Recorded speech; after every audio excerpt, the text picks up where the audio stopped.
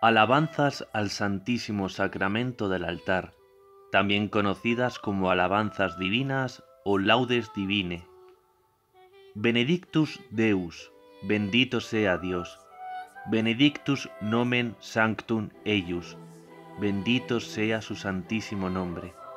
Benedictus Jesus Christus, verus Deus et verus homo. Bendito sea Jesucristo, verdadero Dios y verdadero hombre.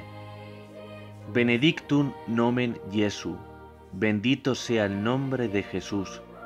Benedictum cor eius sacratissimum, bendito sea su sacratísimo corazón. Benedictus sanguis eius preciosissimus, bendita sea su preciosísima sangre. Benedictus Jesus in sanctissimo altaris sacramento Bendito sea Jesús en el santísimo sacramento del altar. Benedictus Sanctus Spiritus Paraclitus. Bendito sea el Espíritu Santo Paráclito. Benedicta excelsa Mater Dei María Sanctísima. Bendita sea la excelsa Madre de Dios María Santísima. Benedicta Sancta eius et Immaculata Conceptio bendita sea su santa e inmaculada concepción. Benedicta eius gloriosa assumptio, bendita sea su gloriosa asunción. Benedictum nomen Mariae, Virginis et Matris, bendito sea el nombre de María, Virgen y Madre. Benedictus Sanctus Joseph, eius castissimus sponsus, Bendito sea San José, su castísimo esposo. Benedictus Deus in angelis suis et in sanctis suis. Amén. Bendito sea Dios en sus ángeles y en sus santos. Amén.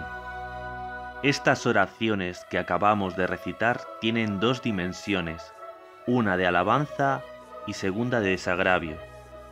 De alabanza de la tría a Dios Padre, a Dios Hijo Jesucristo y a Dios Espíritu Santo. Alabanza de hiperdulía a la Santísima Virgen María y alabanza de dulía a San José y a todos los ángeles y santos de Dios. También son oraciones de desagravio y de reparación contra las blasfemias, ultrajes, sacrilegios e indiferencias con que Dios es ofendido. Historia e indulgencias Originalmente fueron compuestas por el jesuita padre Luigi Felici en 1797. El Papa Pío VII, el 23 de mayo de 1801, las aprobó y extendió a toda la Iglesia, enriqueciendo con indulgencias este acto piadoso.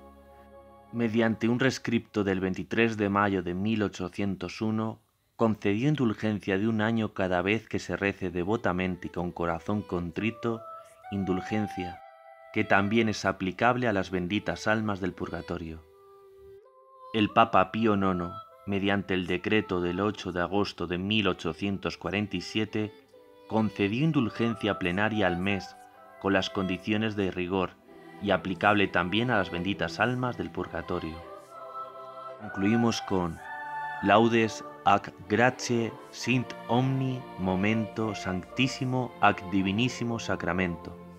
Alabanzas y gracias sean dadas en todo momento al santísimo y divinísimo sacramento del altar. Et benedicta sit sancta et immaculata conceptio beatissime semper Virginis Mariae, Matris Dei et Mater Nostra. Y bendita sea por siempre la santa e inmaculada concepción de la bienaventurada siempre Virgen María, Madre de Dios y Madre nuestra. Amén.